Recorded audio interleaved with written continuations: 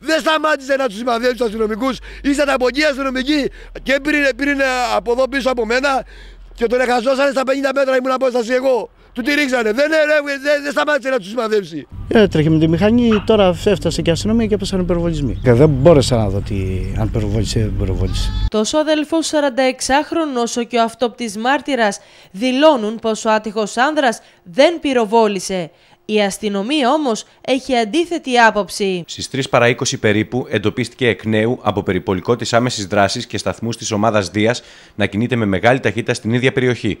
Η μοτοσυκλέτα κατά την κίνησή της εξετράπη της πορείας της και ο 46χρονο προέταξε το όπλο του και πυροβόλησε κατά των αστυνομικών, που τον καλούσαν να παραδοθεί. Οι αστυνομικοί ανταπέδωσαν τα πυρά με αποτέλεσμα να τραυματιστεί και να διακομιστεί με ασθενοφόρο του ΕΚΑΒ στο κέντρο υγείας κάτω Αχαία, όπου κατέληξε. Αν δεν στο πόδι να το τραυματίσουν, του ρίξαν στα ίσα.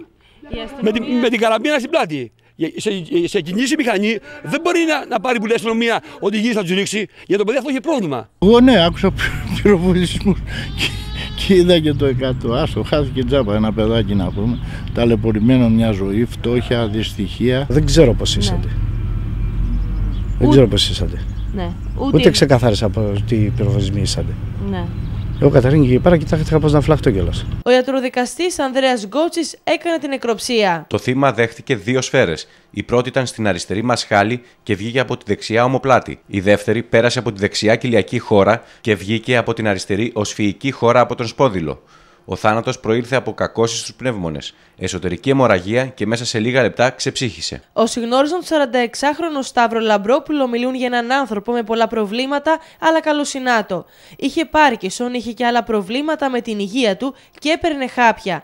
Πατέρας πέντε παιδιών με γιο αστυνομικό, κόρη που δίνει εξετάσει για την αστυνομία, γιο στο πολεμικό ναυτικό και δύο παιδιά εργαζόμενους στο χώρο της οικοδομής. Είναι λυπηρό να χάνεται κάποιος άνθρωπος για 200 ευρώ. Αυτό που έγινε ήταν ήταν, μας ε, ε, εξέπληξε όλους ας πούμε. Εδώ δεν είχε δείξει τίποτα σοβαρό πράγμα, ξέρω εγώ, να κάνει κανένα ζημιά, κάτι, τίποτα, τίποτα, τίποτα. Εδώ χαμουρκόταν τα βραδάκια, καθόταν καμιά ώρα. Αυτά είναι πράγματα που δεν τα χωράει ο νους. Δεν τα χωράει ο νους. Με να έρθει ένας άνθρωπος τώρα να μου πάρει την τσέπη 200 ευρώ και να έχω μισθό για να το σκοτώσω. Για όνομα του Θεού, πού ζούμε; Σε ποια εποχή ζούμε; Τι οδήγησε όμως 46χρονο να κάνει τη ληστεία, Κανείς δεν μπορεί να απαντήσει με σιγουριά. Σίγουρα πάντως ήταν μια τρέλα της στιγμής. Άλλωστε ήταν άπειρος. Έκλεψε την καραμπίνα από την περιοχή Φράγκα, ανέβηκε στη μηχανή, πήγε στο υποκατάστημα των Ελτά στην κάτω Αχαΐα, προέταξε το όπλο σε ένα πελάτη, πήρε τα 200 ευρώ και έφυγε. Δεν συνέχισε καν τη ληστεία στο υποκατάστημα. Δεν μπήκε μέσα. Ξεκίνησε το θορποκυνηγητό και μετά από μία ώρα στα καραμεσινέικα έπεσαν πυροβολισμοί. Και μην τον, μην τον σκοτώσετε. Ε, πήγαινε η μηχανή του. Έτρεχε στον αέρα και του τη ρίξανε από πίσω. Εκατό αστυνομικοί, ούτε πάσαρες να ήταν. Για 200 ευρώ ένα παλικάρι νέο. Οι δύο αστυνομικοί που τον πυροβόλησαν ανήκουν στην άμεση δράση. Είχαν μεταβεί στο σημείο μετά από διαταγή που έλαβαν. Όπως αποδείχτηκε όμως, δεν είχαν ενημερωθεί για το ποιος είναι ο δράστης. Και όπως είπαν στην κατάθεσή τους, τον πυροβόλησαν όταν εκείνος πυροβόλησε πρώτος.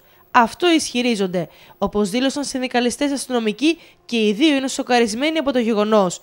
Η κηδεία του άτυχου 46χρονου θα γίνει αύριο στις 11 το πρωί.